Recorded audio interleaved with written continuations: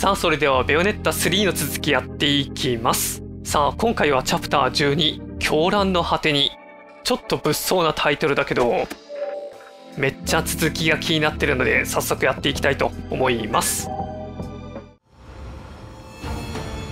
おスンと始まりましたね。立ち止まっていても仕方ないわね。うん。お後ろの方にはいきなりえーっと敵を全滅。そして相手は1体だけキャステルラヌスってどういうやつだったっけ？まあ入ってみるか。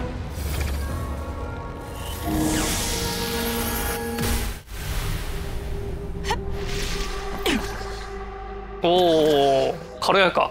あれ？これは魔導術を使わないとあれな感じ？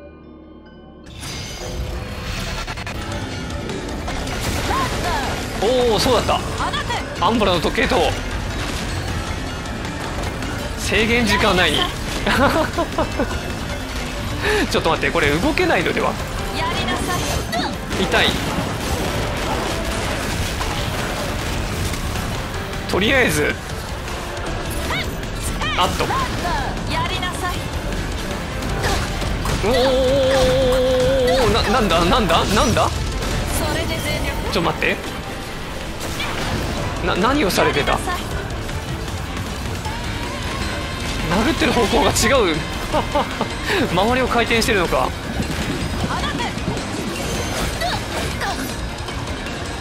窓待って待って？デーモンスレーブ中をちゃんと動けるはずなんだけど。あれ？なんかちょっと違うな。少々お待ちください。あれ？他の魔導魔導っていうか魔獣だとさ呼んだ後もすぐ回避できたイメージがあるんだけどなんかできないっすね。なんか閉じることはできても回避ができない。そういうもん？回避できないんだ。へえちょっと待って。やり直さなくっちゃというかそう戦い方を覚えないと。これパワーアップは魔獣にも効くのかな？あ敵の攻撃がさ見えないな。う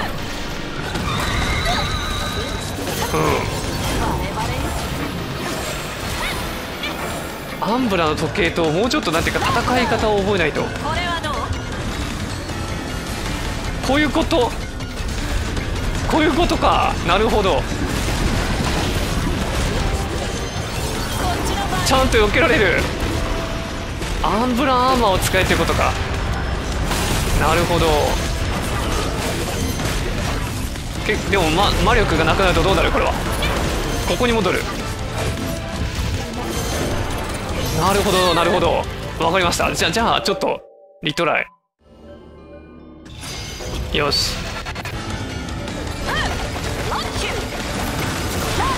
アンブランアーマー発進。ふん蹴り蹴りいいぞ。なかなか悪くない。よっ。あれ？な なんか避けたつもりが。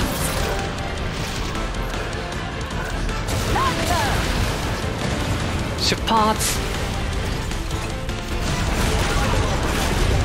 なかなか攻撃判定が広い。えい。タックル。おっと。思ったよりか早く避けないというかもしかしたらあれか。あのなんなんていうのかな。おーっと。あれ？あもう一回普通に呼び出せるのか。なるほど。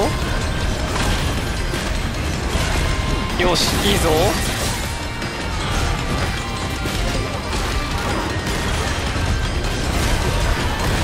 よっ。ああ早すぎた。アンブラアーマーの状態だともしかしたらバッドウィズインとかができないのかもしれない。ちょっと避け方が難しいかも。く。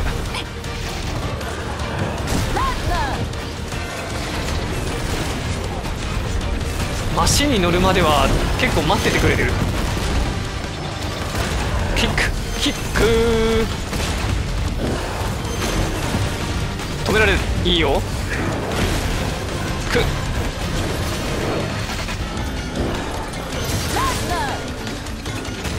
ドハーいててててて。ベオネッタの体力の代わりに魔力が失われていくから安全といえば安全。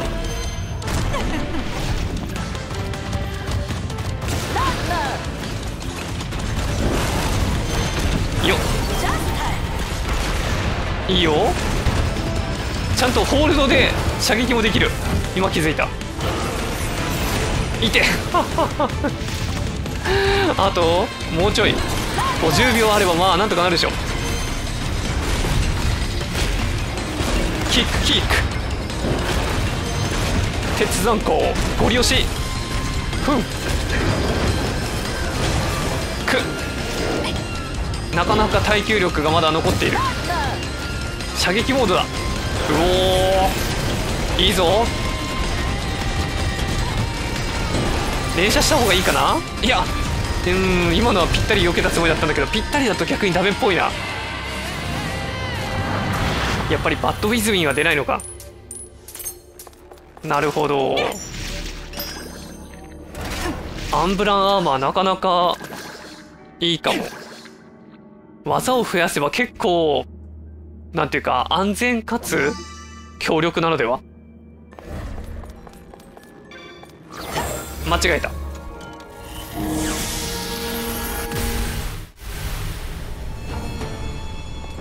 よし。じゃあ早速装備を変えていこうかな。まずはえー、っと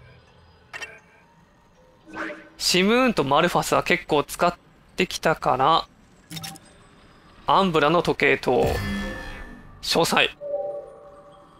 魔をもって天をうがつ者アンブラの時計塔。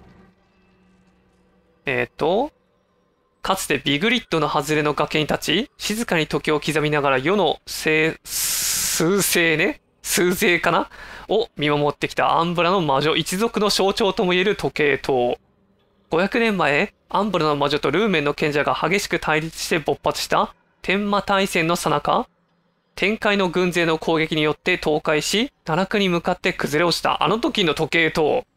その際、最後まで時計塔を守ろうと、籠城していた長老をはじめとするアンブラの魔女たちもろとも、魔界に落ち、その瓦礫と魔女たちの魂とが溶け合って、呪いの要塞となって蘇った。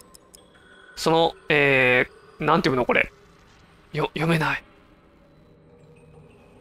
わからない。体の、体の内？体の体の内っていう言い方もおかしいけど、この漢字は読めません。彼女たちの怨念を表すかのような荒々しい武器を無数に備え、近づくものがあれば瞬時にそれを展開して容赦なく攻撃する。建物ゆえに姿を現してもその位置から微動だにしないが、鉄壁とも言える頑強さで守りにおいては魔界随一の能力を誇る。まさかの、ベオネッタ1とか2の頃の話のあの時計と、た、あのー、舞台となってる時計塔はあったし似てるなと思ってたけど、まさかご本人とは、それが魔獣となって蘇る。なるほど。止まった針。この塔が崩れた時のまま止まっているらしい。その場に居合わせた本人がそう言ってた。その場に居合わせた本人。えっ、ー、と、ベヨネッタかななるほど。アンブラの数字も大体似たようなものかな？1字が1って2、3、4。5が見えないけど、6とか7とか8とか、なんとなくこう、その今の数字をね、あの、わかりやすくはなってるかも。仕掛けいろいろ。壁がパカパカ開いて、中からいろんな武器が飛び出す。やっぱりこの塔生きてる？生きてるかも？怨念で。魔女たちの怨念？壁はめっちゃ頑丈。魔女たちの怨念に守られてる？同じような顔文字が続きますね。えーっと、高さ約44メートル、196トン、魔界のどこかで生まれました。スペシャルスキルは、秒単位で計画を実行すること。秒単位か。約500歳。うん。なるほど。秒単位っていうとなかなかこの世界だと正確なのか正確じゃないのかちょっとわからないけど。うん。そっか、攻撃がだいたい秒単位で動いてるのかも。うん。アンブランアーマー。うん、なるほど。一応ジャンプもあるんだね。さっき全然考えなかったけど。よし。じゃあ、えー、っと、ウェポン。シムーンをタルタロスの門に切り替え。タルタロスの門。両手に装備する？モンコの、モン、モンコじゃないんだよな。名前いつもこれ間違えちゃうんだよね。モンピね。モンピのようなデザインをした分厚い鉄塊。倒壊したアンブラの時計塔の瓦礫から生まれ、シンプルな打撃武器で、その質量と鋭い突起で絶大な破壊力を生む。また、扉に当たる部分を開いて、中からガトリングガンや機械の腕を出現させて攻撃を行うことができるなど、ギミックにも飛んでいる。一説では、トーンの倒壊とともに命を落としたアンブラの魔女たちの怨念が作り上げた武器とされ、門の奥にひしめき合っている無数の亡霊は、魔界の正気と溶け合った彼女たちの慣れの果てとも言われている。デーモンマスカレードスキルにより、その亡霊たちの力を得ると、痛みを感じない機械仕掛けの体となり、敵から攻撃を受けても止まることなくひたすら戦い続けるからくり人形と化す。ほう。なるほど。怨念が操ってくる。恐ろしい。うん。よし。魔界更新機のリトルデビルズは全く使ってないから違うのに変えようかな。えーと、月光のローガってなんだっけ？えーと、なんだっけ？あー、あの、マスカレードレイジの火力が上がるやつか。うん。詳細、解説。解説だな？解説読めばわかるね。うん。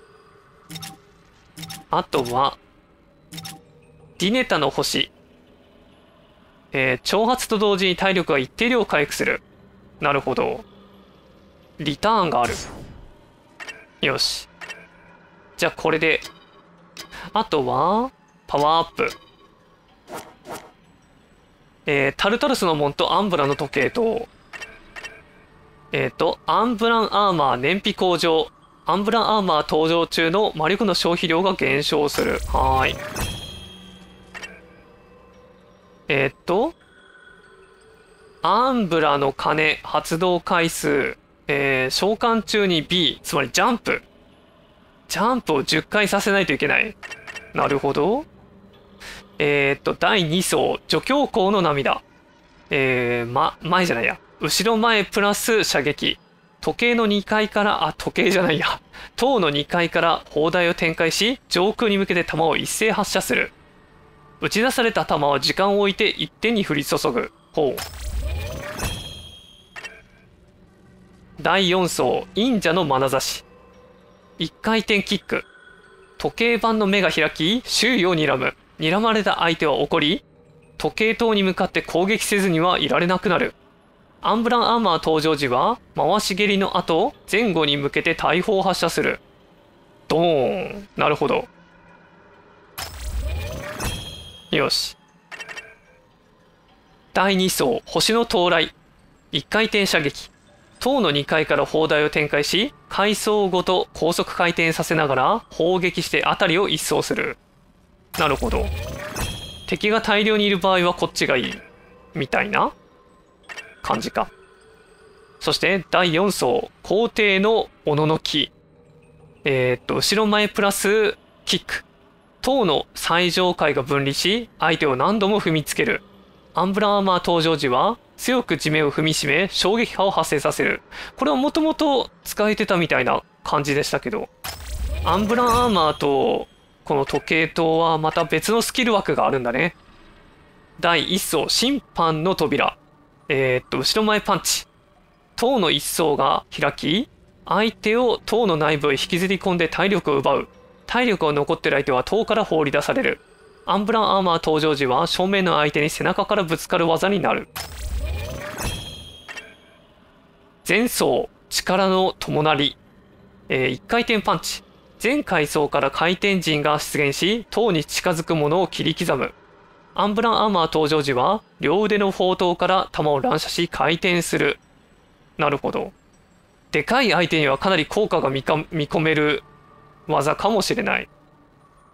そっか、さっきの、でっかい相手も塔だったじゃん。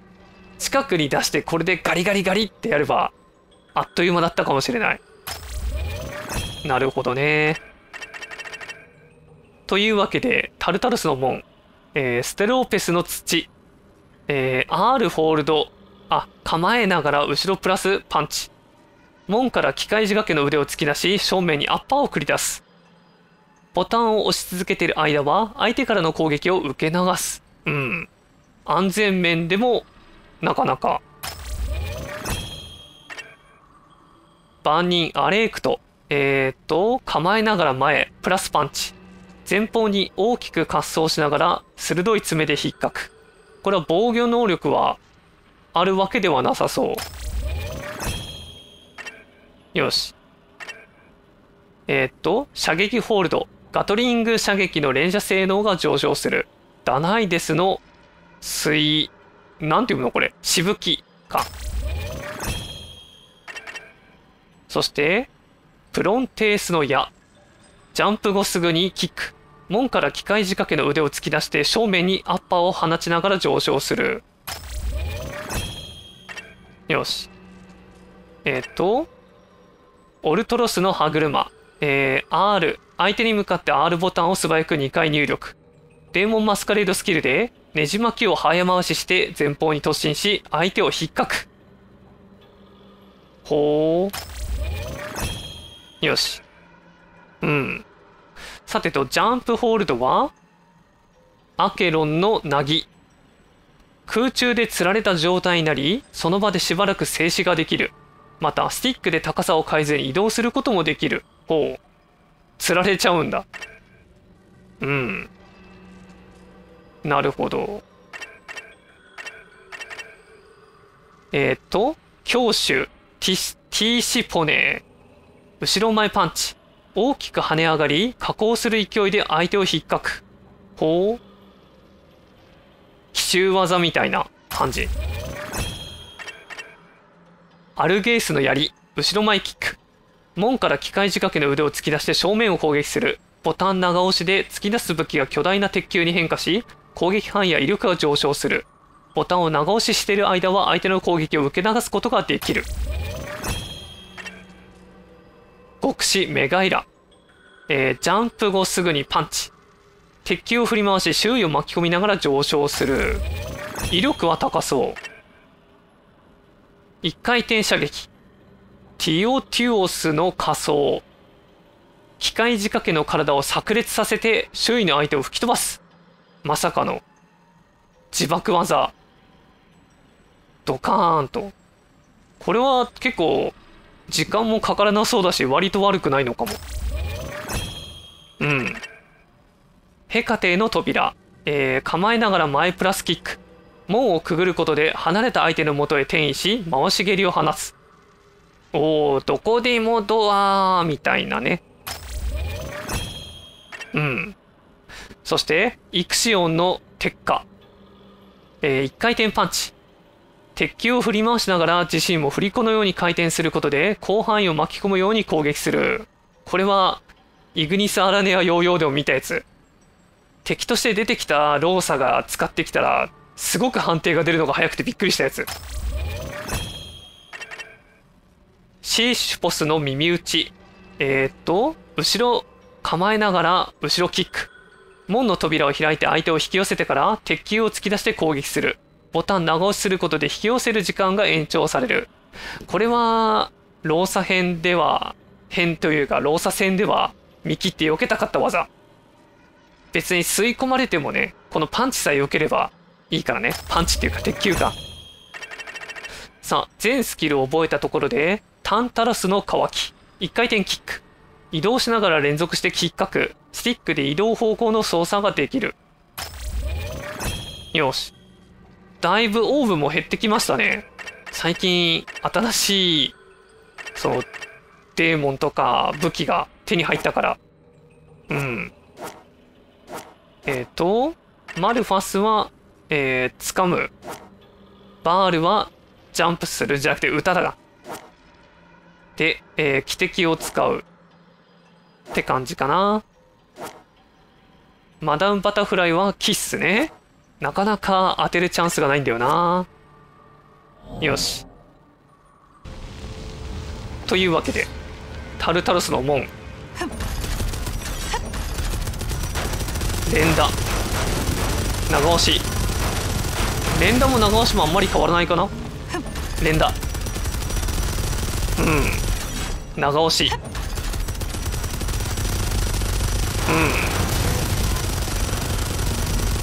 弾の速度が見えないぐらい速いって感じかな？えー、っとパンチ。パンチ。パンチ。おおからくり仕掛けの体。キック。なるほど。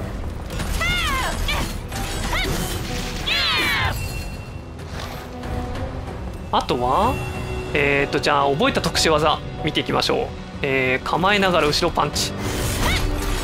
なんかちょっと可愛い。いえいみたいな。長押しするとガードしてられる時間が伸びる。うん。ちょこっとジャンプするベヨネットのなんと可愛いことか。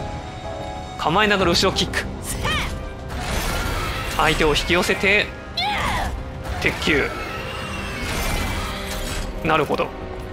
構えながら前パンチ。ほうなるほど。構えながら前キック。瞬間移動。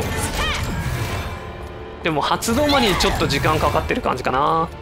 遠く離れた相手にも一瞬で届くんだったらかなり使えるかも。後ろ前パンチ。上から攻撃ね。お。パリ大一句なるほど。後ろ前キック。おお超惜しい。ちょっとねベヨネッタに、ま、なってしまうので。うん。ちょっと貯めると。おお待って待って。うん。こんな感じ。あとはジャンプ直後にパンチ。おおこれは強そう。これはアフターバーナーキック。アフターバーナーキックの空中効果版はないのかな？ないっぽいね。空中で空中でキックコンボがこうやって出せるのはなかなか。なるほど。よし。あとは1回転パンチ。おお1回転キック。これは便利っちゃ便利だな。うん。1回転射撃。ドキャーン。回避できる。おお合体する。使った瞬間にもう解除することもできる。いいね。あ武器は変えてもダメだ。なるほど。あとはまあ大体こんなものかな。突進攻撃。マスカレードダッシュ。引きずられてるねこれ。空中で。ああ釣られている。そういうこと？なるほど。あでも途中で落ちちゃうね。うん。マダムバタフライのホバリングにちょっと似てるっちゃ似てるけど途中でダメになっちゃうな。なるほど。さあというわけでじゃあ進めていきましょう。技の解説とかデーモンの解説見るのも楽しいけれど結構時間かかっちゃうからな。お。いややめろー。みたいな。うん。一応コンボも見ておけばよかったかな？だいいパンチパンチパンチキックとかで。まあなんとかなるかな。うん。特殊なものがないかはちょっと見ておこうか。えっ、と。これの特殊アクション。タルタラスの門。見た感じはまあ普通な感じかな。うん。相手の攻撃を受け止めたりするってのがなかなかちょっと難しいかも。よし。おおむね問題なさそう。うおーでーふん。いいね。あれ？ちょっと待って。なんか発動してんだか発動してないんだか分かってない。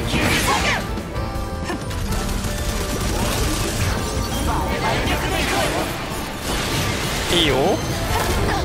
待っと今のは。なんか攻撃中にあ防御してるからとかそういうこと？いいよ。でででででてい。おっと。なかなかちょっと難しいかも。よっ。おおいいよ。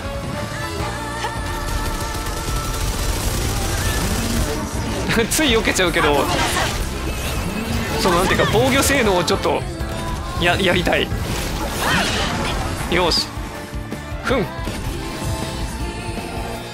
ドーン。いいよ。当たってないあがちまがあの今さビオラみたいに R ボタンでガードしようとしちゃった。違う違う。お出てきた。でっかいの来た。あーなんか落ちてくるときなんかあのあ予測性みたいにくださいよ。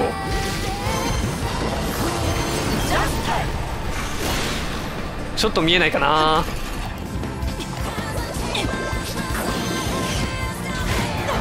えい。危ない。でっかいやつを気にしてるとちょっと難しい。えい。おほいほい。なんか地味。こっちの番よそっちじゃない。出さないジャスタイあっけないわねよし。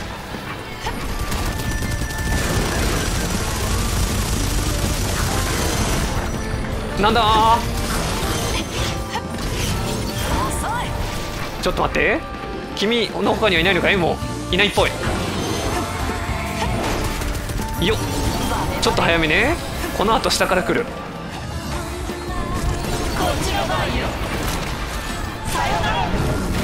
いいよ。おっ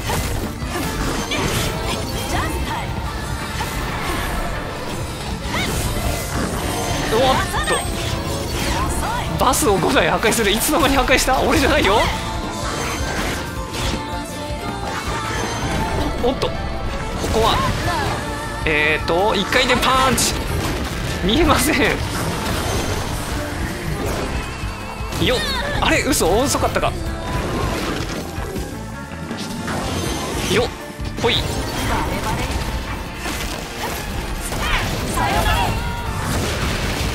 よーし。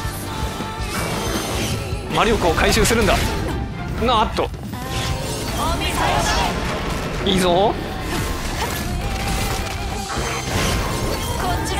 逃げられた。ずるいぞ。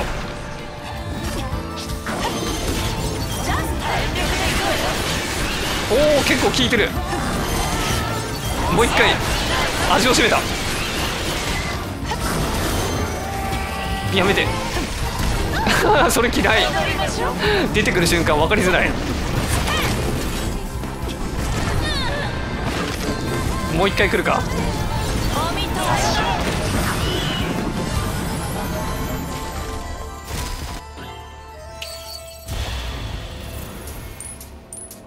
ふむなかなかタルタロスのも難しいな。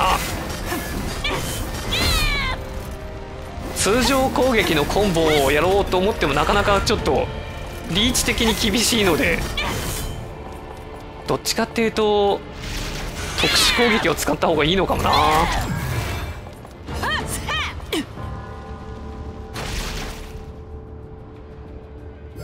よし。時計塔はほとんど使えなかったな。今のうちにちょっとジャンプさせてみるか。時を知らせて。おなんなんだって？え強強制強制的に？知らせて。やりなさい。おお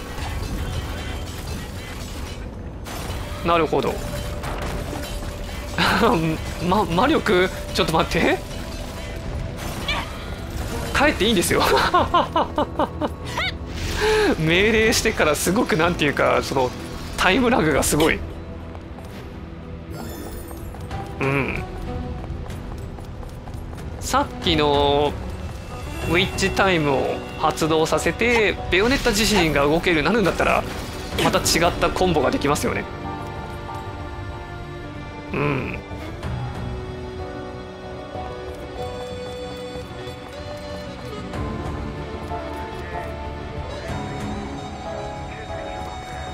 仲間を撃つことなんかできない。うん。今回のホムンクルスはそういうタイプ。前回もねそうなんていうかローサを撃ち抜いた時に変な機械みたいなものがバキッと壊れてましたけど。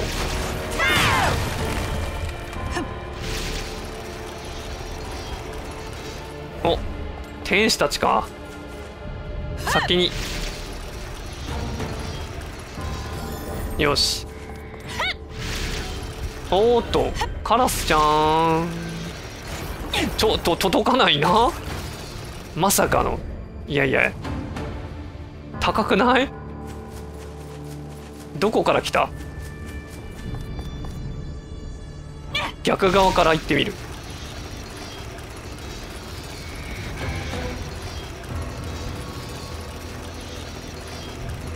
そこに入るのか。なるほど。まだ戻ってこない。あ戻ってきた。これがこうこうほい。なあ届かない。ダメだ。タルタルスのもんではなかなか厳しい。えー、っと。これなら。よし。ピヨーンピヨーンピヨーン。ほい。あーちょっと。まさかの。下に埋まってしまった。よし。ピヨーンここで。やった。なかなか楽しいレースだったわ。うん。武器の向き不向きよし。さてと他に使ってない技。一回転攻撃これは結構ウィッチタイム取った時に便利だったな。これも試してみたいね。よし。あとはアンブラーの時計塔かな。ジャンプ。ちょっと待ってでっか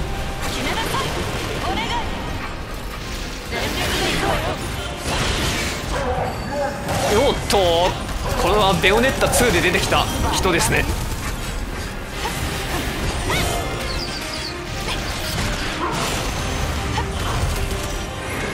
うわ嫌な感じ。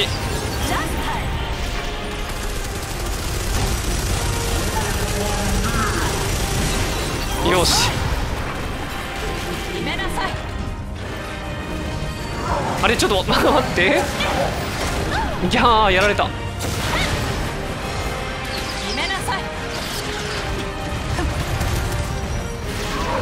おおアンブラの時計と攻撃せざるを得なくなっちゃう。おおそういう攻撃だったっけ？覚えてない。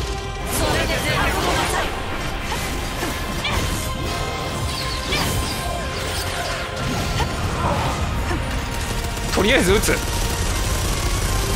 魔力がめっちゃ溜まってく。よし。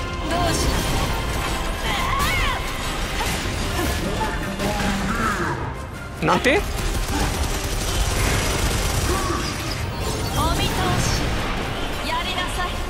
とりあえずパンチ。いいぞ。いいぞ。なんだかわかんないけど。めっちゃ頑張ってる。あとさあの技を忘れました。どうやってやるんだっけ？えーとこれは？召喚中ジャンプ。召喚中ジャンプ。そうだ。よし。おお魔力は使っちゃうけど。いいんじゃない？攻撃しなさい。あしまった。危ない。アンブラの時計を消しちゃったら意味ないじゃん。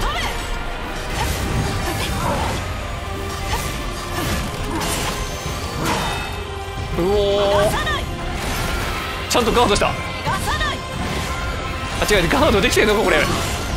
わかんない。えい。懐かしいあの夜系のなんていうの？悪あがき。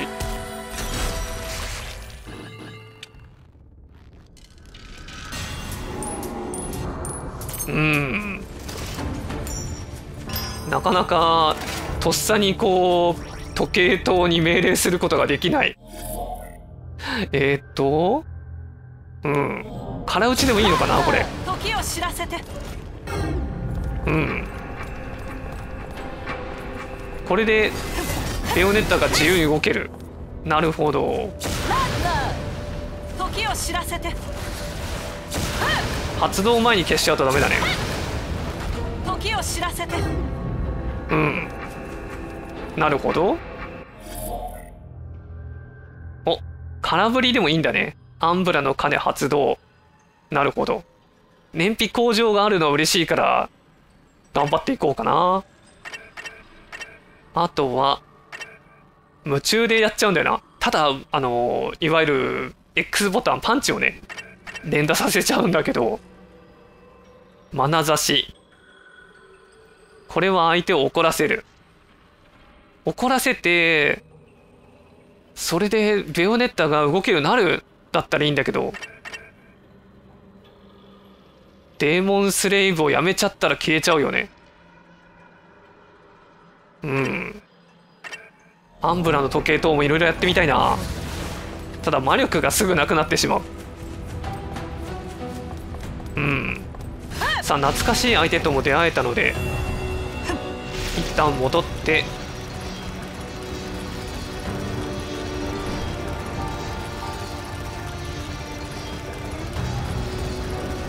うん。忘れ物はないかな。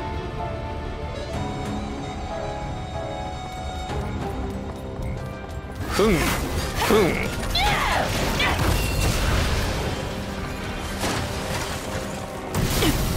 うわすごい。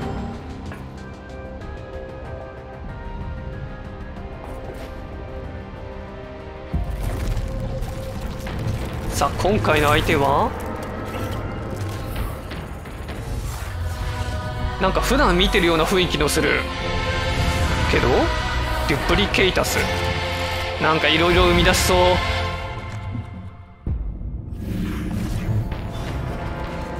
分裂するタイプか。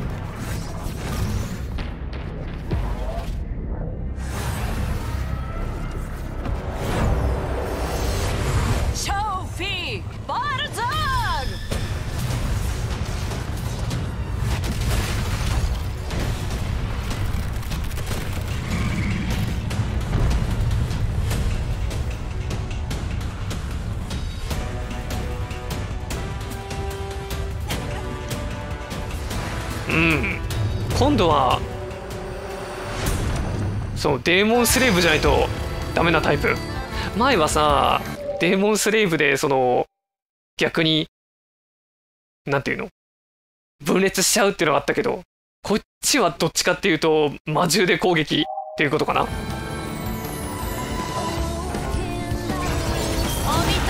まずは1回転キック。こっちを見ろからの射撃。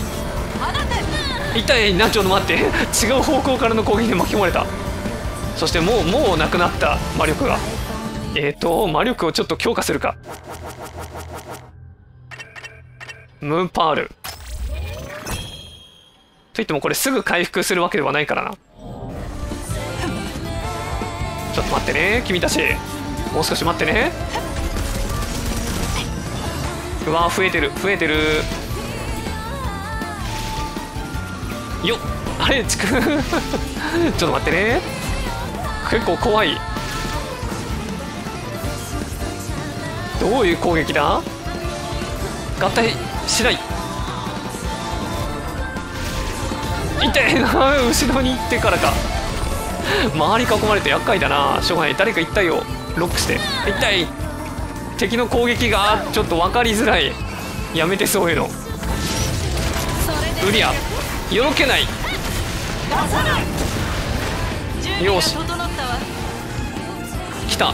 えー、っとマスカレードレイジ。ちょっと一箇所に固まってください。おおおおお固まらない。固まらない。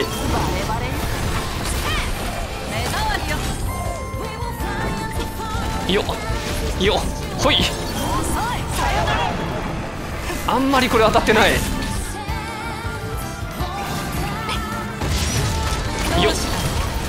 うんよろけない。困りました。くー。ちょっと待ってね。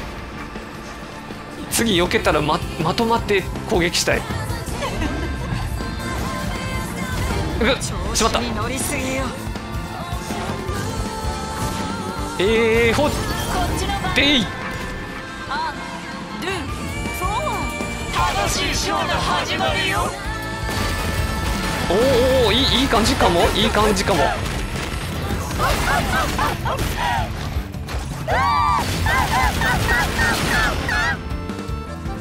まあまあいいんじゃない？えい。いいぞ。なんかこいつあれだ。なんかあの一体一体に体力が設定されてないんだ。こいつだけとかそういうやつなんだ。そういうことだったのか。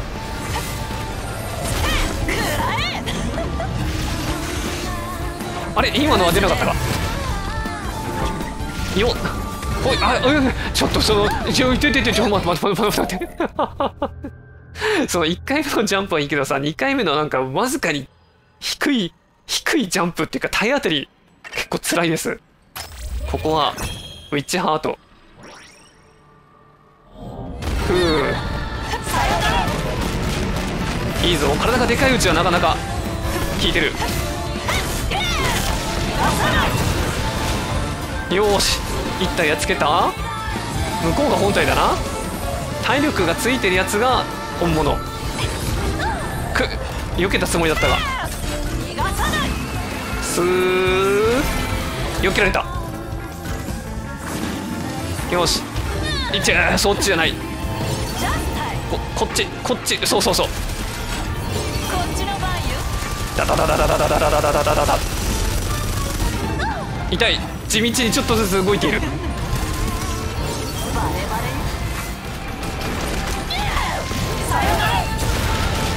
いいよ。こっちを見ろ。よし。射撃。一回転射撃。当たってない。めちゃめちゃもうもうああ怒った。やめて。まあまあいいや。なんかわかんないけど偽物に対してあれ？偽物？どれが本物？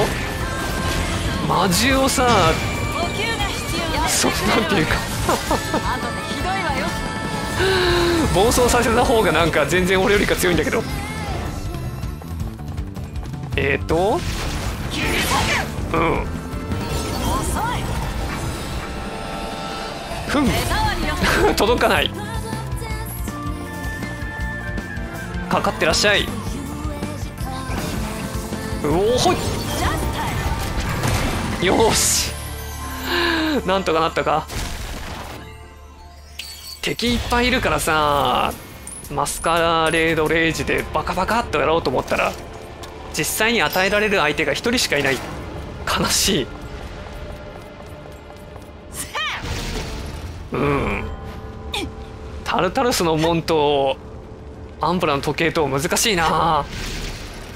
さっきの相手がちょっとなんていうかあんまり相性が良くなかったのかもしれないけど。決めなさいうん。相手がいないから上から降り注いでこないね。なるほど。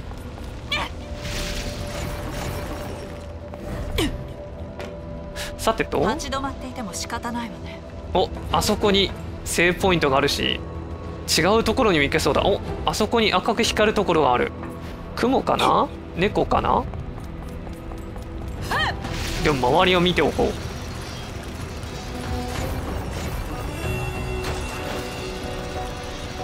高いところには登りたくなる気持ちもある。お来てよかった。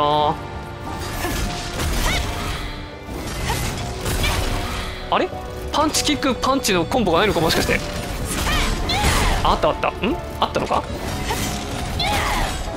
一応あるな。よっ。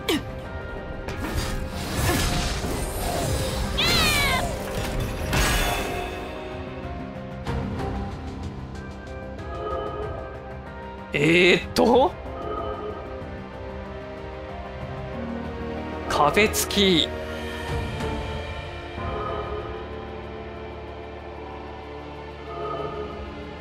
なんだかちょっとマリオマリオメーカーにありそうなやつが出てきたのおーおーおそういうそういうやつ。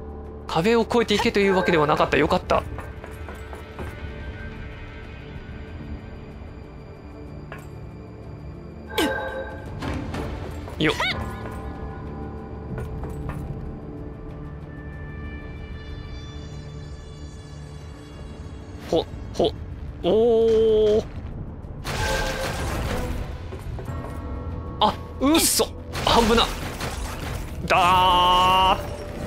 と待って。動かしづらい。よし。ちょっと試しにやってみようかな。よっ。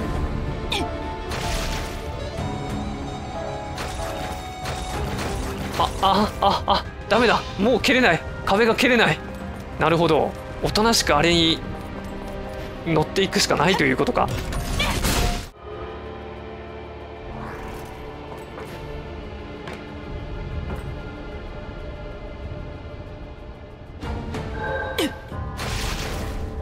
壁ジャンプは基本ん？何回かできてるみたいに見えるが。うん。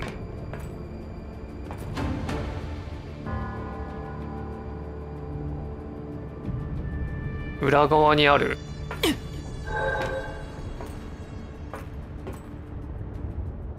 そしてうん。最後の一つはそのまま。特になんていうか変なプレーをしなければ問題ない。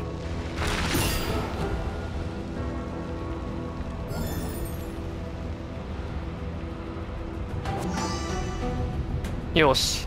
ウィッチハート嬉しいな。さてさて結局この状態で壁を蹴ってもう一回とかできたんだろうか。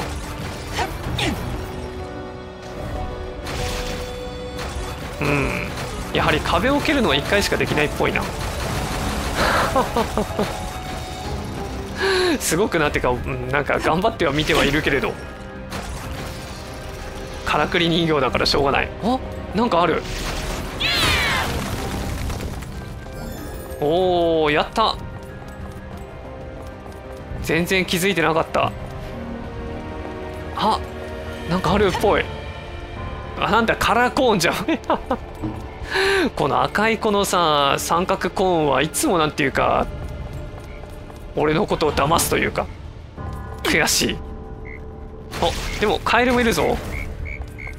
くー三角コーンくーありがと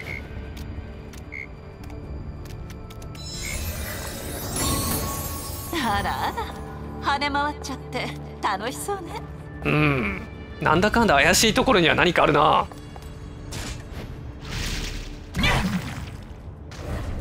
あこれはネズミ返し。ベオ返し。ふう。ランラン。というわけでとりあえずお店に行ってん？もう終わりだ。絶望だ。お。隠しバース発見。上の方には？これといったものはない。あっちの方には何かありそうだね。よし。じゃあまあ今回はここでセーブしておこうかな。うんタルタロス。なかなか使うのが難しい。ガードができるのが後ろプラスパンチのこれ。であとはえっ、ー、と後ろキック。これは相手を吸い込むやつ。おそらくこの構えしてる時はガードができるんだと思うけど。うん。こういう状態ね。なるほど。これもガードできるのかな？どうなんだろう。貯めてる間にちゃんとガードができてるんだったらいいんだけど。その辺りはなもっとなんていうか詳しくっていうか細かくやっていかないと。というわけで入店です。